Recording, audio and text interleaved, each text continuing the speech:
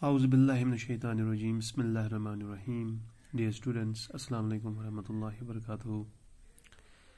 Today is our lecture number 12 from the chapter Lines and Angles for class 9, the subject mathematics.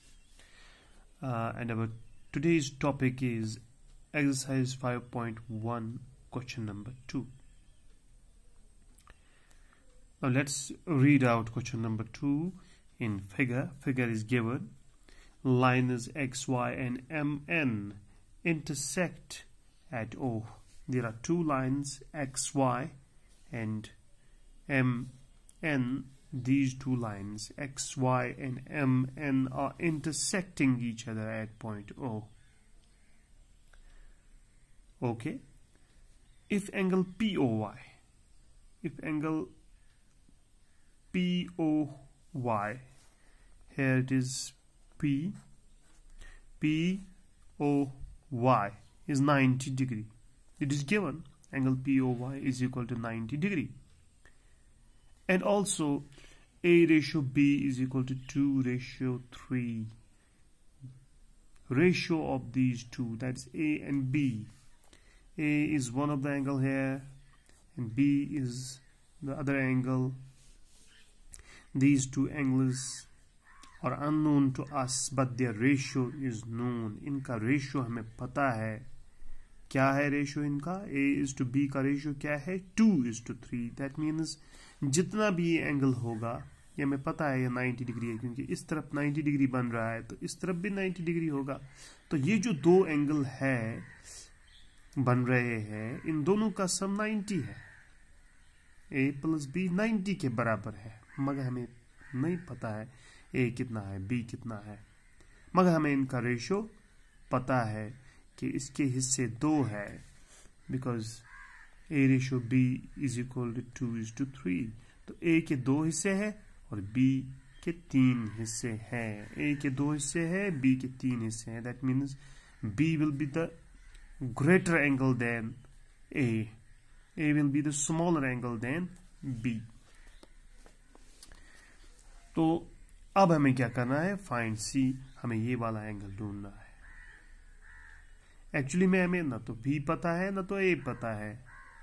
मगर हमें इनका ratio पता है। तो इनका जो रेशियो है, उसको हम इस्तेमाल करेंगे तो हमें बी निकल जाएगा। जब बी हमें निकला तो हमें सी भी निकल सकता है, क्योंकि जो बी और सी है, ये एक ही लाइन पे लाई कर रहे हैं तो ये लीनियर पेयर बन जाते हैं तो इनका सम 180 डिग्री होगा। और अगर हमें बी पता चला तो सी को हम लीनियर पेयर एक्शन के ज़रिए निकाल सकते हैं। तो चलिए हम पहले बी को ही ढूँढने की कोशिश करते हैं, फिर हमें सी आसानी के साथ मिल जाएगा। ठीक है? बी को ढूँढने की कोशिश करते हैं। तो बी को हम कैसे ढूंढेंगे? चलिए स्टार्ट करते हैं अपने क्वेश्चन का सोल्यूशन तो सबसे पहले हम लिखेंगे जो हमारे पास गिवन है। हम देखेंगे कि हमें दिया हुआ क्या है। तो गिवन जो है वो है angle P O Y question में दिया हुआ है एंगल पी ओ वाई इसको नाइन्टी डिग्री ठीक है। Ninety degree. और हमें रेशियो भी दिया हुआ है कि also A is to B is equal to two is to three ये रेशियो भी दिया हुआ है इन दो एंगल्स का ए और बी का रेशियो है टू इज़ टू थ्री अब हमें ढूंढना क्या है? To find what we have to find हमें ढूंढना क्या है? ढूंढना है हमें सी यानी ये वाला एंगल हमें ढूंढना है, ये वाला एंगल हमें ढूंढना है, ये हमें पता नहीं है। तो हम अब कैसे ढूंढेंगे हम इसको? हम लिखेंगे नाव अब ध्यान रखिए मैं क्या लिखता हूँ। अगर आप गौर से देखेंगे, ये जो लाइन एक्स वाई है, इस पर तीन एंगल बन रहे हैं बी ए और 90 और इन तीनों एंगल का सम कितना होगा? 180 डिग्री क्योंकि ये लीनियर पेयर बन रहा है। एक ही लाइन पे तीन एंगल है तो इनका सम तो 180 डिग्री होगा तो हम लिखेंगे B plus A plus ninety degree is equal to one hundred eighty degree ठीक? B plus A plus ninety degree is equal to one hundred eighty degree B plus A plus ninety degree is equal to one hundred eighty degree because of linear pair action okay मगर B और A हमें पता नहीं है, इनका ratio हमें पता है। ए के दो हिस्से हैं और बी के तीन हिस्से हैं। तो चलिए बताइए, आप बी के बदले हम क्या लिखेंगे? क्योंकि इसके तीन हिस्से हैं तो थ्री लिखेंगे। मगर अभी हमें ये पता नहीं है कि कितना है, इसका मेजर कितना है। तो हम यहाँ पे थ्री एक्स लगाएँगे अनून है हमारे लिए प्लस ए के दो हिस्से हैं ए के दो हिस्से हैं तो हम यहाँ पे टू लिखेंगे, मगर two x plus ninety degree is equal to one hundred eighty degree तो चलिए three x plus two x कितने हुए?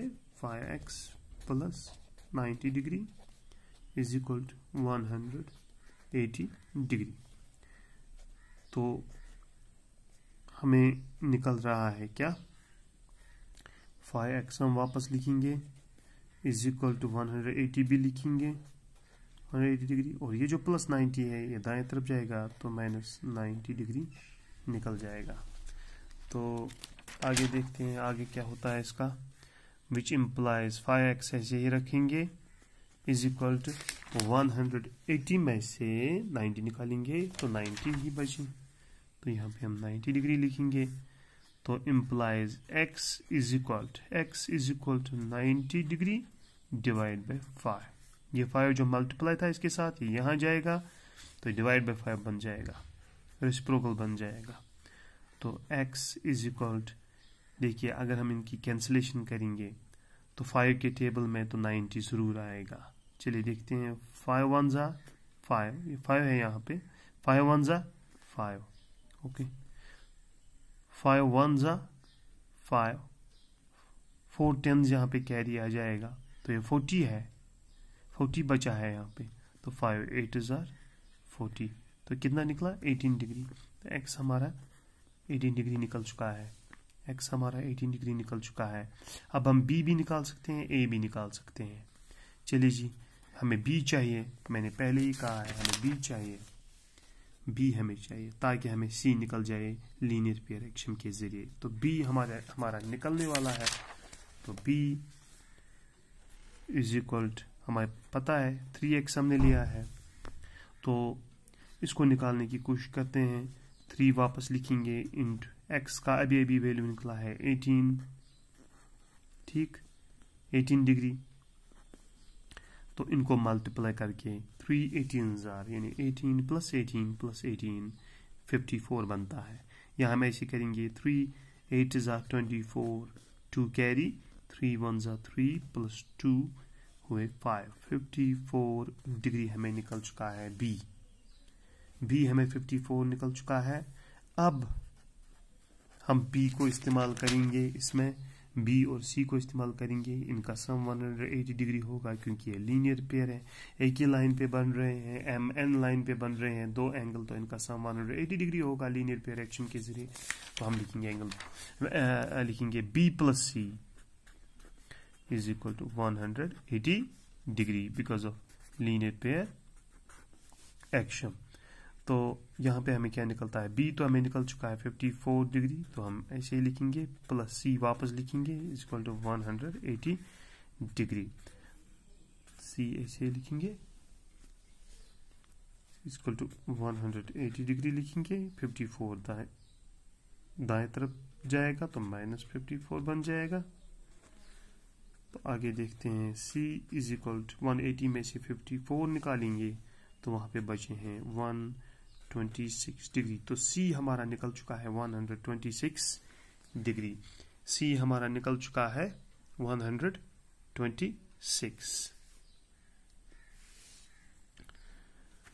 तो हमें सी निकालना था, उसके लिए हमें बी निकालना पड़ा। लीनियर पेयर एक्शन के ज़रिए हमने इनका रेशियो इस्तेमाल किया, हमें बी का वैल्यू निकला बी का वैल्यू हमें निकला था 54 डिग्री तो उसके बाद जैसे ही हमें बी बी मिला तो हमने B plus C is equal to one degree यानी लीनियर पेयर एक्शन फिर से इस्तेमाल की तो बी का वैल्यू हमें पता चल चुका था 54 डिग्री तो उससे हमारा सी का वैल्यू निकल जाएगा। वो निकला है 6 degree so this completes our question number 2 of uh, exercise 5.1 now in next lecture lecture number 13 we will solve question number 3 of exercise 5.1 okay this is enough for now. Thank you very much.